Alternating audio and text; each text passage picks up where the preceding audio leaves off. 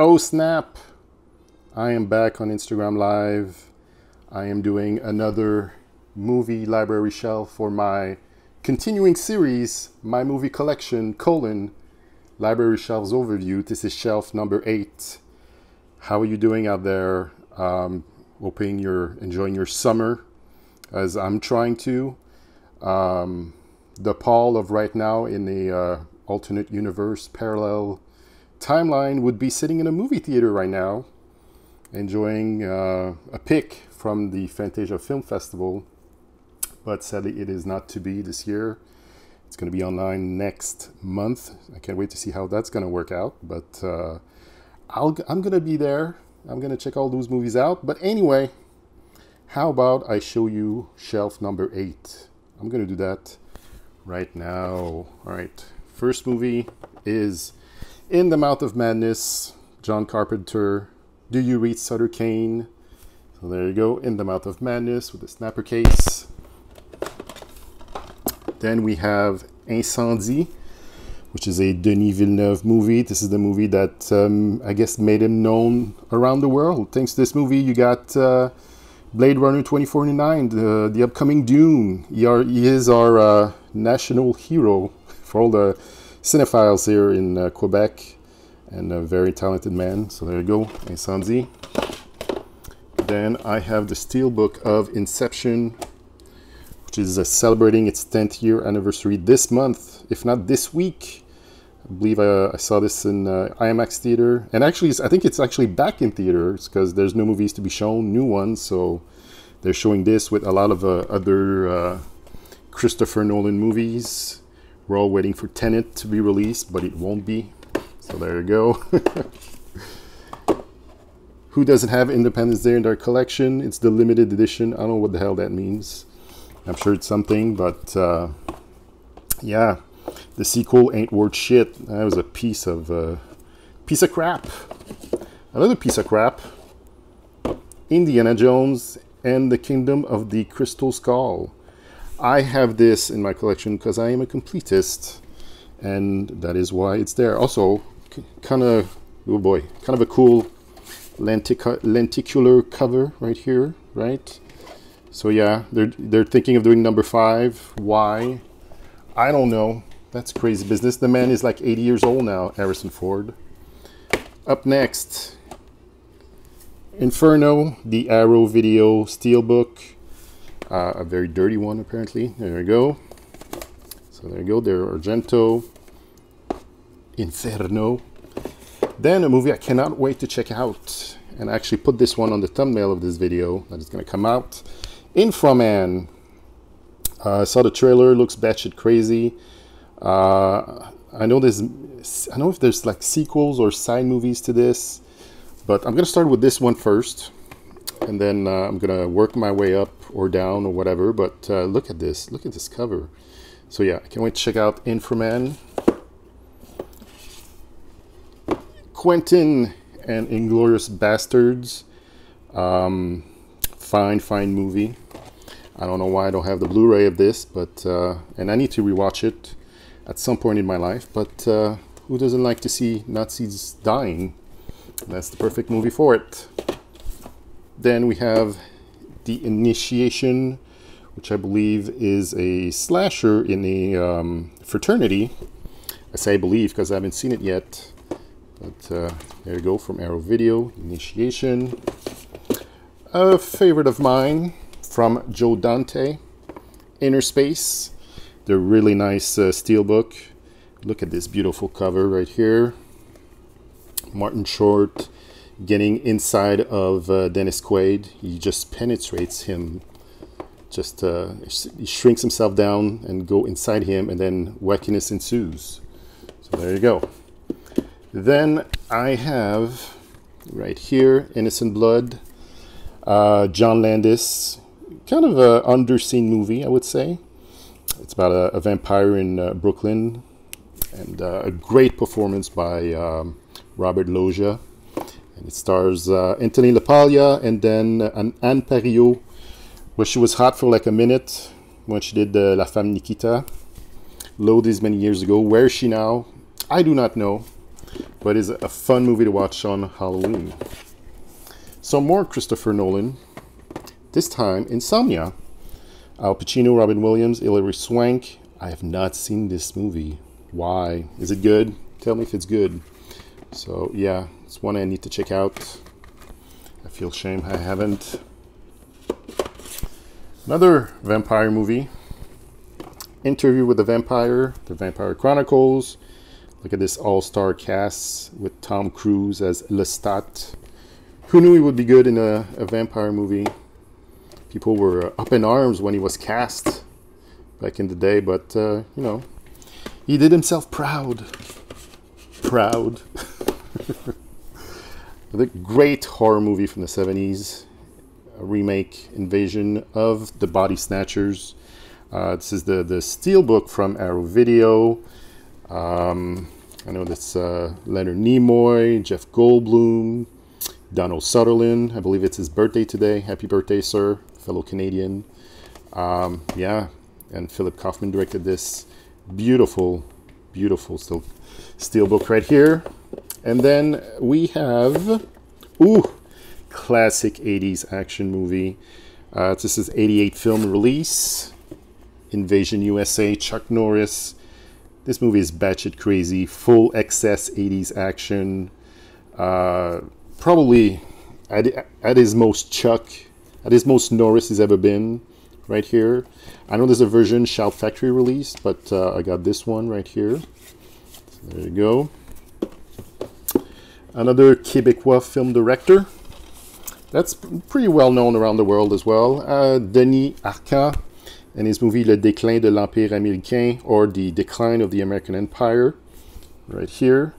And the sequel that uh, got him the uh, Best Picture Oscar for Best Foreign Film, the Les Invasions Barbares, which is uh, the barbarian, barbarian invasion.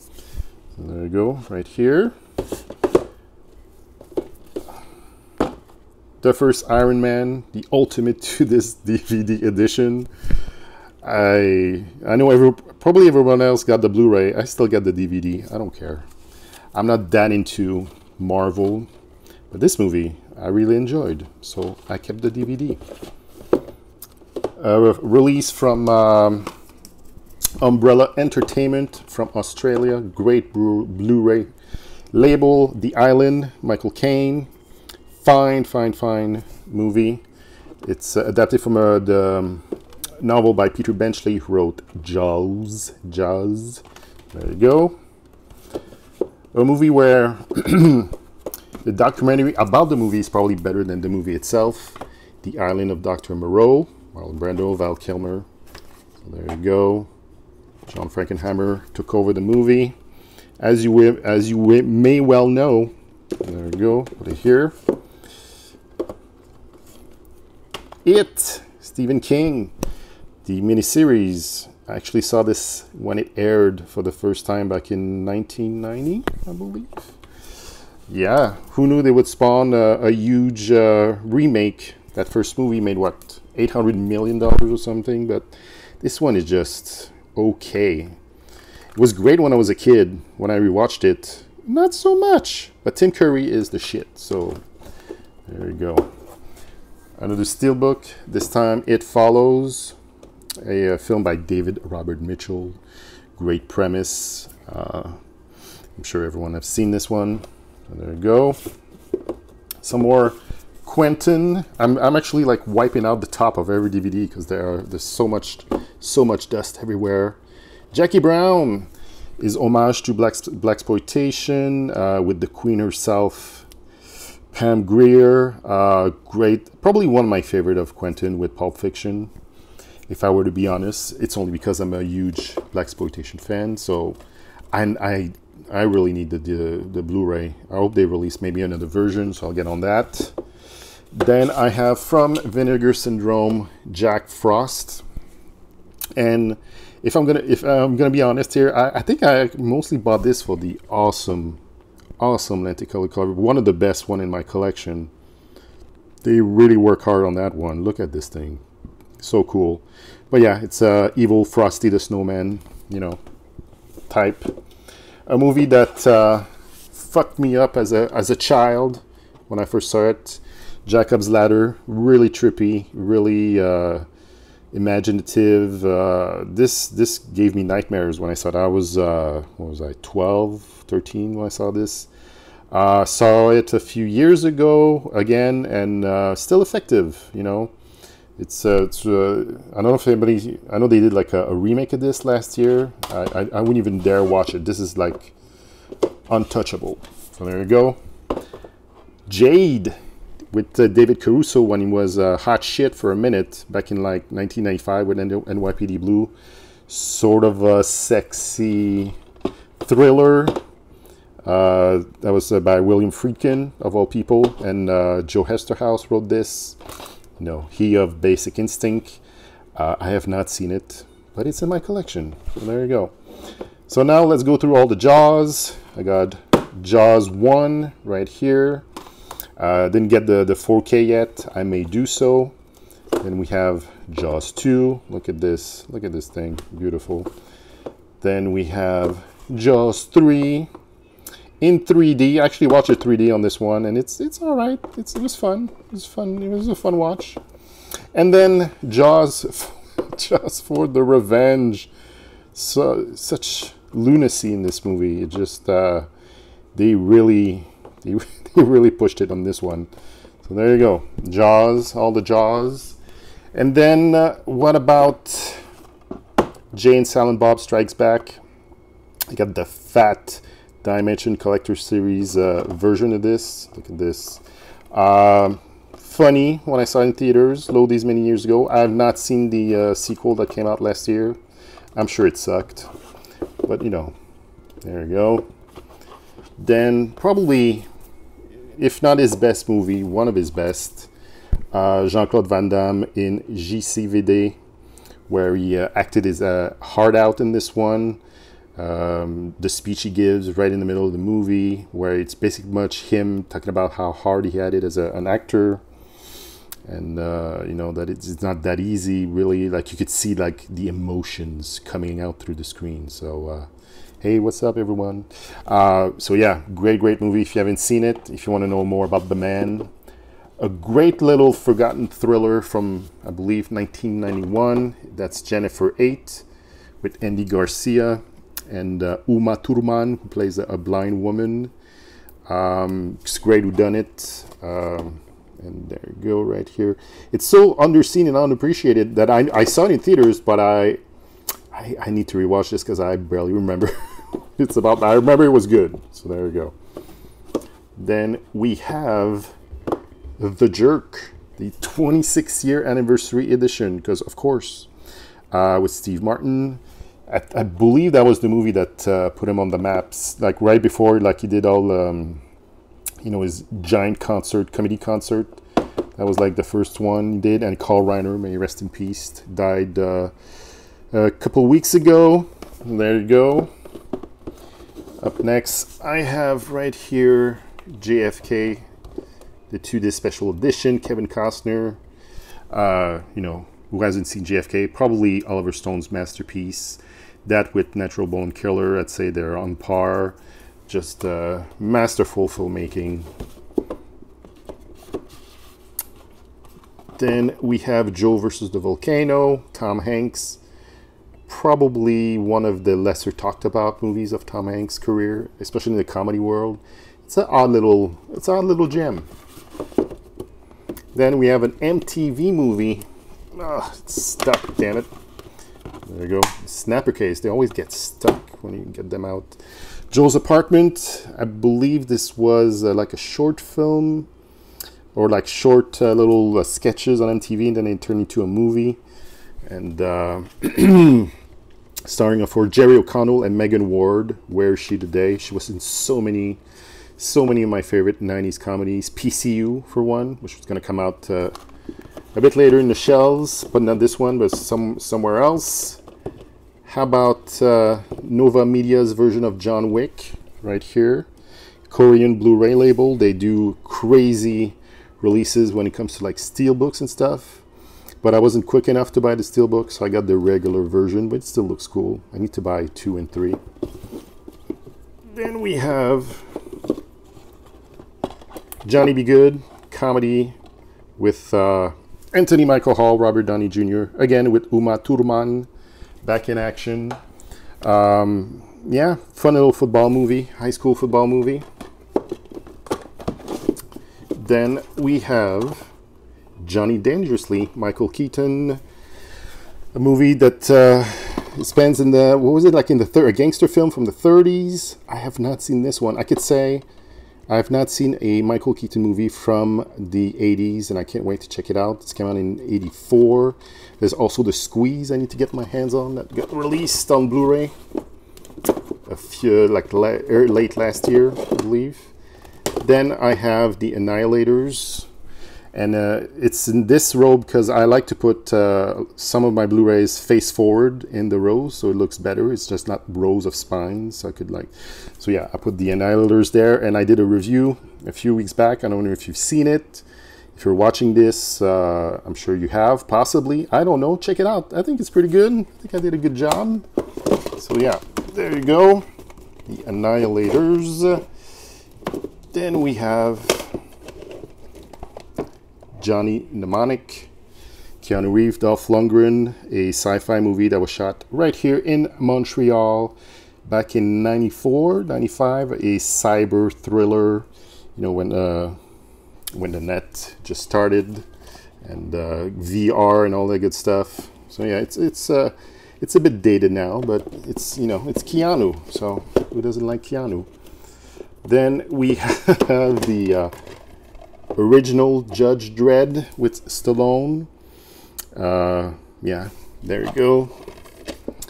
Uh, a release I just got in the mail this week. It is Judgment Night, one of my favorite movies uh, from 1993. One of those, uh, it all happens in one night, one wrong turn in a neighborhood, and they uh, they're pretty much hunted down for the the remaining of the movie. Denis Leary plays the bad guy, and a pretty good one at that. Uh, it's an excellent underseen movie, and it was directed by um, what's his name, Stephen Hopkins, who also did um, Predator 2. So uh, quality filmmaking right here. So yes. Up next we have Juice. Who's got the juice? Omar Epps, uh, Tupac Shakur, which uh, turned him into a, I guess, a movie star from this you know, that's was that's where I got the uh, the, the acting bug. What's great little uh, urban drama. I'm gonna call it that. Kind of like uh, newer black exploitation, if you will, and a great, amazing soundtrack. Eric B and Rakim is on it, so there we go. Jungle Fever, a Spike Lee joint, Wesley Snipe, Annabella Sciorra. I have not seen this. How come I have not seen this one? And it's from 1991. It's like my favorite movie year, and I still haven't seen Jungle Fever, so I'm gonna get on that right there. How about some B action movie with Jungle Ground? Roddy Piper, one of his many, many, many, many, many direct-to-video uh, movies. But it's a, it's a it's a good little one. Like uh, he, uh, he's pretty good in it. And um, yeah, there you go. Jungle Ground. One of my favorite slasher from the early 80s. And I, I would say it's on, a lot of people's list for favorite slasher just before dawn. Uh, George Kennedy, Greg Henry is in this. Uh, released by Code Red right here. And it is probably the best uh, release by Code Red, I would say, by far. They release a lot of crap but this one in particular it's uh, quite enjoyed. So there you go. Just before dawn. An another movie I meant to watch but I've never done so Kalifornia.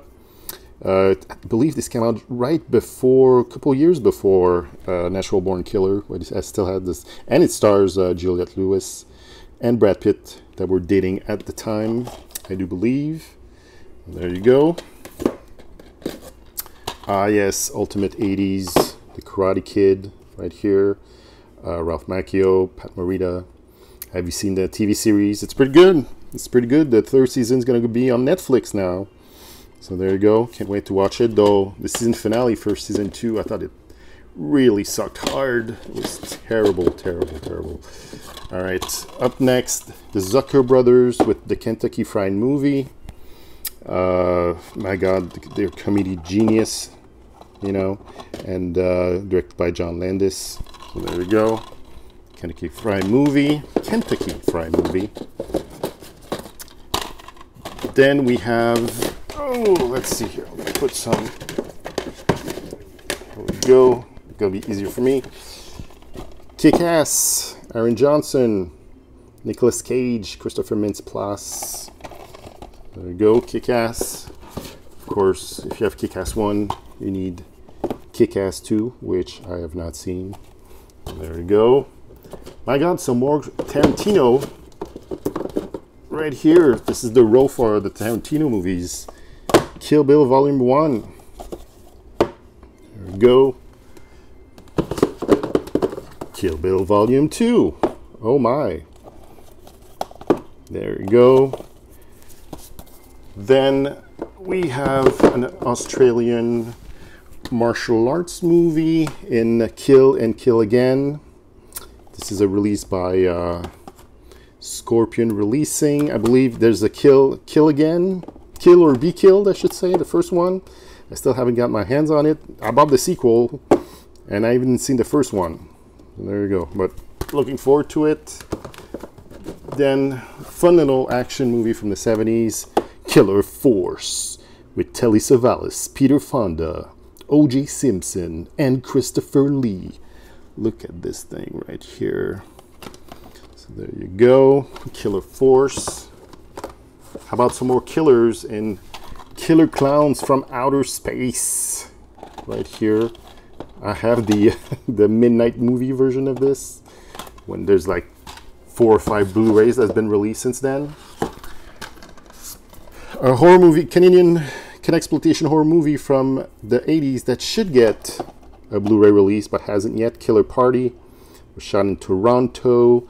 Uh, this is a Warner Archive collection release. Uh, again, fun little horror movie. Um, uh, there we go. Another movie connected to Tarantino, and it's Killing Zoe.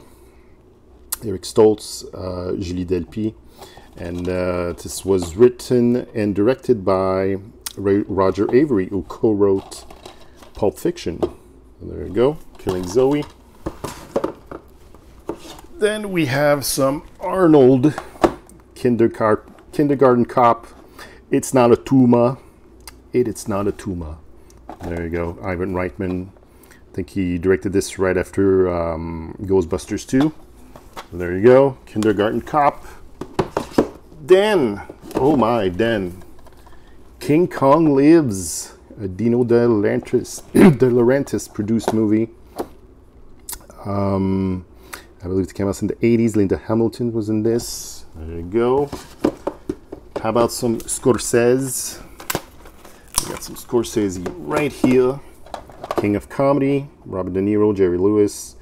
Um, you know, Joker was uh, based on this movie. He even wanted, uh, you know, Martin Scorsese to to direct it, but he couldn't. So there you go, right here. Uh, Arrow release, great New York movie. The King of New York, Abel Ferrara, Christopher Walken. There you go, right here. Fun little horror movies from the 70s. Uh, you know, if you uh, do not enjoy spiders, I would not recommend watching this movie, but it is Kingdom of the Spiders, starring William Shatner. This is a code red release with uh, this sweet uh, Blu-ray. Uh, I mean, sli slip cover, and this is the original artwork right here. Uh, yeah, it's a fun creature feature film if you haven't seen it. Then, how about some Bronson? Because we do need Bronson in our lives. It is a Cannon film. Kinjite, Forbidden Subjects, a J. Lee Thompson film. He's done many films with uh, Charles Bronson. Uh, I, am happy to say I've not seen this. I'm saying happy because I like having Bronson movies I haven't seen yet. You know, for the rest of my life, I, I want a couple. One of my favorite from Shane Black, and it is Kiss Kiss Bang Bang. Robert Downey Jr., Val Kilmer. Uh, my God, it's a great little movie. The uh, was it the the Nice Guys? Yeah, the Nice Guys. It is my favorite movie of uh, Shane Black, but this comes a, a, close second. And obviously, all the Lethal Weapons he wrote, and uh, The Last Boy Scout, and all that good stuff. So yes, and finally, for this row, the eighth row, the eighth shelf, it is Kiss of Death. David Caruso, Samuel Jackson, Nicolas Cage. This is the movie he did right after he quit uh, NYPD Blue, thinking he's going to be a big star. And I'm talking about David Caruso. And uh, not much of nothing happened for a while. And then, you know, NCI, uh, was it CSI happened? But it's, it's a fun little gritty mobster uh, movie, uh, all happening in New York and Nicolas Cage plays uh, like a deranged, per, like a deranged villain. Like he really gives his all in this one, and uh, you know it's uh, it's been forgotten, but uh, I enjoyed it. It was it was pretty good. So yeah, that is it. That is it. Kiss of Death was it for shelf number eight. Um, many more videos coming soon. Uh, Half Nelson is about to be done. Uh, the series I'm posting on my YouTube channel. I got a uh, new videos I'm working on that's gonna be I, I have a feeling it's gonna be enjoyed by the masses hopefully so I'm working on that. And uh, yeah that's about it. How about you have a, a nice weekend y'all? Thank you for watching. Some of you out there some of you watching right now thank you. I wave to you. So there you go. And uh, see you next time. Bye